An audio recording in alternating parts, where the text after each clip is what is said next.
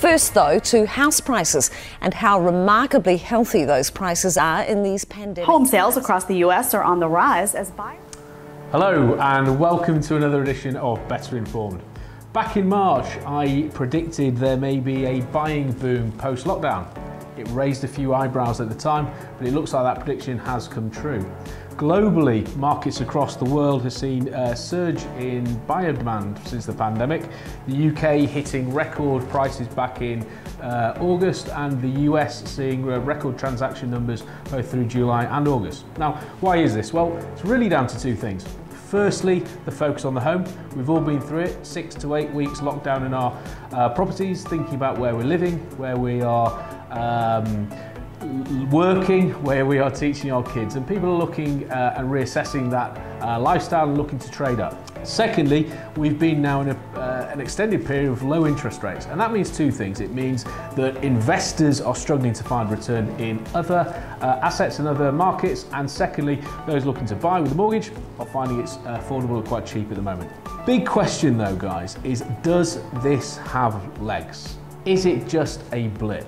Well, you know, frankly, markets such as the UK, the US, you'd probably have to speak to somebody there. But I've got three main reasons why I think this does have legs here in the UAE.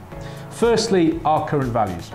Unlike the UK, unlike the US, places like Germany, we've experienced property market uh, prices come down over the last five or six years most of the markets have seen markets go up over that same period of time. So we've actually had price reductions baked into our market before this happened. In fact, that was uh, visible in uh, demand coming back into the market in January, February, March this year. And really, today's buy is just a continuation of that. Who is buying? It's people here domestically in Dubai looking to buy a property for themselves to live in. We've seen a shift here at Better Homes from 24% of buyers identifying themselves as an end user to 67% of buyers identifying themselves as an end user in the last year. We've seen the value of villas being sold around 2.6 million increase to 3.2 million. Um, that's not like for like prices, but it's an indication of people looking at larger properties as, as I said earlier, they assess their living situation and they look to trade up. So the values on offer here in Dubai make it different to the rest of the world. Number two, what we haven't seen here in Dubai is unnatural market stimulus that we have seen in other parts of the world. Uh, the UK, the US, for example, furlough schemes that have protected the economy and protected the market from the worst of the pandemic. That isn't something we've seen here. Um, now, what we have seen here is we've seen the mortgage uh, cap, the loan to value requirements for uh, buying a property for first time buyers reduced from 25% to 20, which has been great for demand. But we don't have that cliff edge scenario of a furlough scheme, for example, being removed from the marketplace, the economy in the coming months. So we don't have that doomsday cliff edge uh, fear to look forward to. And number three, and crucially for me, uh, Dubai tends to be a net gainer of global and regional instability. Sadly, we all know people who've lost their job here in Dubai, we all know people who have left.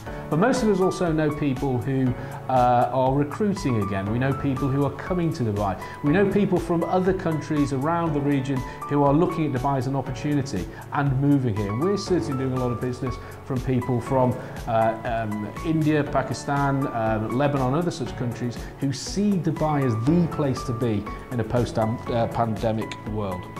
We're taking steps, and the government are taking interesting steps to encourage that over a period of time. The uh, uh, accord with Israel, the new uh, retirement visas that have been announced. There's lots of things happening to help bring people in and bring uh, demand into uh, the economy. So what does the future hold? Well, frankly, it would be a brave man to try and predict the future in any market, but certainly in the world as we see it today. However, I will give it a go. Um, I do not predict uh, an early end to the current surge in demand we're currently seeing.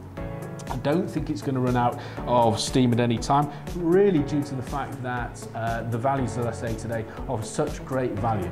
Now, the demand we're seeing today is being fueled domestically. My view is when the flights and people start moving around more freely globally next year, we will see a lot of international demand also enter into the market.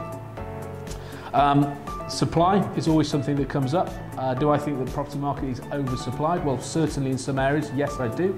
However, what we're actually seeing at the moment is established markets, established communities across Dubai are starting to get to a level where supply is on the restricted side. There's just not enough properties at the moment for sale. So we've got surging demand, we're starting to see supply restricted in many areas, uh, and that is starting to see prices move.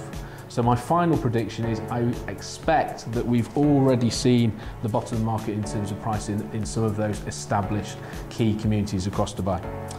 If you'd like to hear more from us, please subscribe to our YouTube channel or visit us at www.bhomes.com. Thank you. Bye now.